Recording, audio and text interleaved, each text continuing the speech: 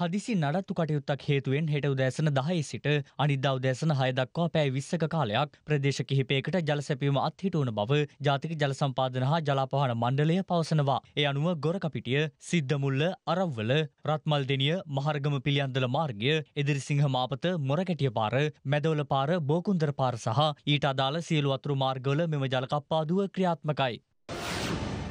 ලංකා මානව හිමිකම් කවුන්සලේ සහ ආසියානු මානව හිමිකම් ජාලය මගින් මානව හිමිකම් ක්‍රියාකාරී සමාජිකයන් වෙනුවෙන් පැවති නීති උපදේශන සහ පුහුණු වැඩමුළුවක් පැවැත්වුණා. ඒ සීදුව ප්‍රධාන හෝටල් පරිශ්‍රයකදී ලංකා මානව හිමිකම් කවුන්සලේ සභාපති එක්සත් ජාතීන්ගේ සංවිධානයේ යාවජීව සමාජික ආචාර්ය දිමුතු බාලසූරිය ඇතුළු පිරිසක් මීට එක්ව සිටියා.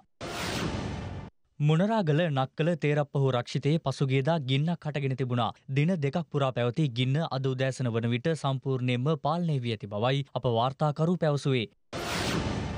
බංගම් ප්‍රදේශයේ හැට පස් හැවරිදි පුද්ගලයෙකු කිඹුලෙකුගේ ග්‍රහණයට ලක්වීමෙන් මිය ගොස් තිබෙනවා. වගා කටයුතු නිමකර අත්පා සෝදා ගැනීමට අසල ජලාශයකට ගිය අවස්ථාවේදී ඔහු මෙම අනතුරට ලක්ව ඇත්තේ.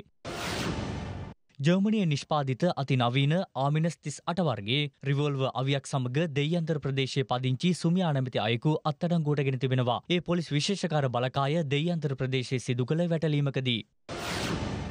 දීර්ඝ කාලයක සිට වෞනියාව ප්‍රදේශය මත්කරල් ජාවාරමක යෙදුණු පුද්ගලයෙකු අත්අඩංගුවට ගෙන තිබෙනවා. පොලිස් විශේෂකාර බලකාය වෞනියාවේදී මෙම වැටලීම සිදු කර ඇත්තේ.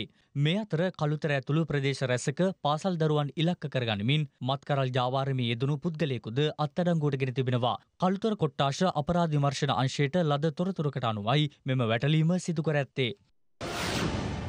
අයිස් මද්‍රව්‍ය සහ ඉන් උපයාගත් මුදල් සමග පුද්ගලයෙකු අත්අඩංගුවට ගෙන තිබෙනවා. ඒ කාත්තංගුටි පොලිසිය එම ප්‍රදේශයේ සිදු කළ වැටලීමකදී.